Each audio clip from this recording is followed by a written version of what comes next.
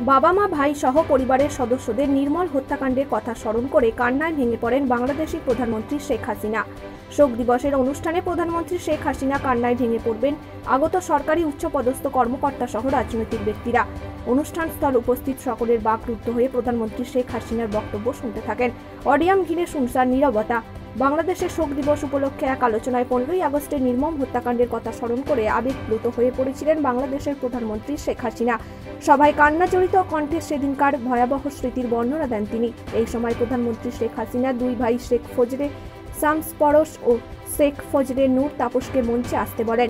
প্রধানমন্ত্রী হাসিনা তাদের আদর মাখা কণ্ঠে বলেন, আয় আমার কাছে আয়। এই সময় দুই ভাই মঞ্চে এসে একে অন্যকে জড়িয়ে ধরে কাঁদতে থাকেন। তখন পুরো সভাস্থলে এক আবেগ ঘন পরিবেশের সৃষ্টি হয়। এরপর প্রধানমন্ত্রী পা ছুঁয়ে সালাম করে পরশ। তাদের উদ্দেশ্যে কাঁদতে কাঁদতে প্রধানমন্ত্রী শেখ হাসিনা বলেন, আজকে ওরা বড় হয়ে গেছে পাঁচ বছরের পরশ।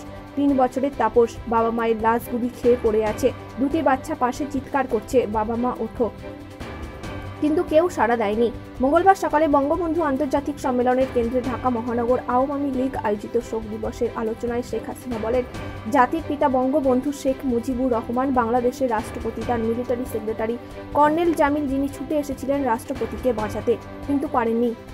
তাকেও ঘাতকরা নির্মমভাবে হত্যা করেছে। তিনি বলেন, তারা যে শুধু একটা বাড়িতেই হত্যাকাণ্ড চালিয়েছিল তা নয়, এই সঙ্গে তারা হত্যাকাণ্ড চালিয়েছিল আমার শেষ পুকুর বাসা, যেখানে আব্দুর রব শের मियाबाद। তার তেরো বছরের মেয়ে বেবি, দশ বছরের ছেলে আরিফ এবং চার বছরের নাতি সুকান্ত।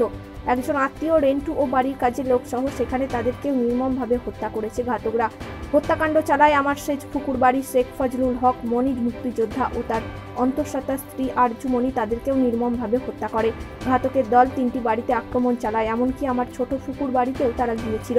প্রধানমন্ত্রী শেখ হাসিনা বলেন, পনেরোই আগস্ট এই হত্যাকাণ্ড বাংলাদেশে ঘটেছে। কি নিষ্ঠুর নির্মম ঘটনা ঘটেছে, আপনারা একবার চিন্তা করে দেখুন আর সেই হত্যার পর বিচার চাওয়ার কোনো অধিকার ছিল না, আমাদের মামলা করার অধিকার ছিল না। আমি আর রেহেনা বিদেশে ছিলাম, সেই জন্য বোধহয় বেঁচে গিয়েছিলাম। আর এই বাঁচা যে কি দুঃখ সহ বাঁচা, সেটা শুধু ভুক্তভোগীরাই জানেন। ঢাকা থেকে জাহাঙ্গীর খান বাবু রিপোর্ট, টাইমস বাংলা।